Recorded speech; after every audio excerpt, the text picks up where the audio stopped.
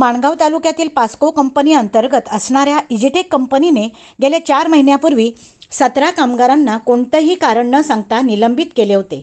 पर्यायी कंपनी सहकार्य करीत नसल्यामुळे हे सर्व कामगार चौदा तारखेपासून आमरण उपोषणाला सुरुवात त्यांनी केली होती.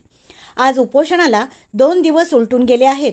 मात्र प्रशासनाकडून कोणत्याही अधिकाऱ्यांनी या कामगारांची भेट घेऊन विचारपूसही केली नाही. त्यामुळे प्रशासन किती गांभीर्याने या उपोषण करणाऱ्या कामगारांना घेते यावरून स्पष्ट होते. मात्र आज संध्याकाळी या उपोषण करत असलेल्या एका कामगाराची प्रकृती अचानक बिघडल्याने त्या कामगारांना उपजिल्हा रुग्णालय येथे उपचारासाठी दाखल करण्यात आले आहे. जर या कामगारांचे बरवाईट झाले तर याला जबाबदार कोण असा सवाल निर्माण झाला आहे. नमस्कार मित्र.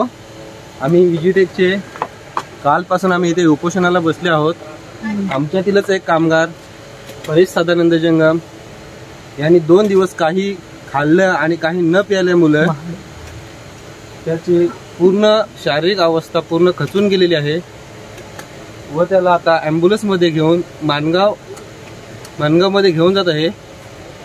यासाठी कंपनी प्रशासनाने लवकरात लवकर सर्व कामगारांचा विचार करून लक्ष देऊन आम्हाला आमच्या मागण्या मान्य करून आम्हाला कामावर रुजू करून घे घेणे. नाहीतर असंच एक एक कामगार रोज ॲम्ब्युलन्समधून मानगावमध्ये गेला जाईल. याची जबाबदारी जर कोणत्याही कामगारास काही झालं तर याची जबाबदारी पूर्णतः कंपनी प्रशासनावरती लादली जाईल.